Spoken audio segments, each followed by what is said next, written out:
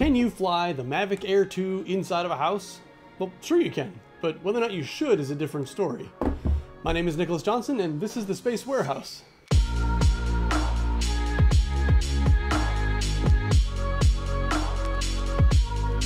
So the Mavic Air 2 has these little sensors on the back, on the bottom, and on the front that help it avoid obstacles in the air and assist with landing. But another thing these sensors are good for is so that the drone can keep track of motion if it should lose GPS, like if it's indoors. It uses like a visual system to keep a stable flight. If you've ever tried flying an older drone inside, this is the GoPro Karma you may know that at the very least it's problematic, and it can become chaotic or destructive really fast. But the internet says that this drone can fly inside no problem. So here we go. This is the Mavic Air 2 flown with no GPS, indoors, inside a cinder block walled garage with kind of low ceilings. Say goodbye to the movie magic of my space looking all tidy and clean. That was that was always a lie. Let's fire this thing up.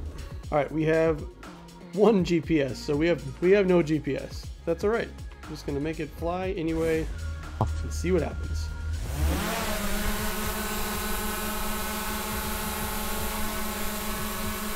All right. Set the controller down. That thing is perfectly stable. A little noisy.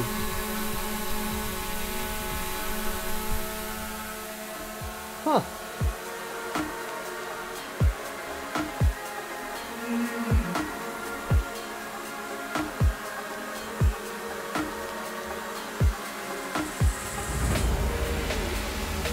Have an idea. Woo! Let's try the tracking feature.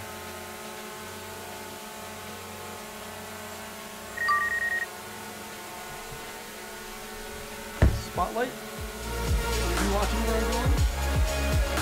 I through here. Alright. You don't care where I go? What if I come towards you?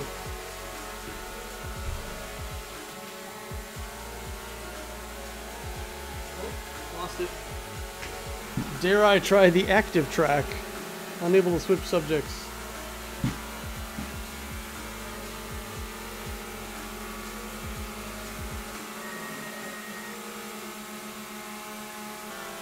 Oh, it's gonna do it.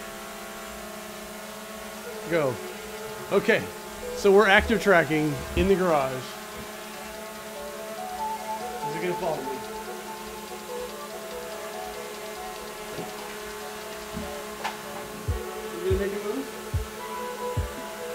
Come towards you? You gonna back up? Oh god, that's freaky. Okay, okay. Alright, so it'll active track. It'll active track inside a house with no obstacle awareness. That's really, really scary.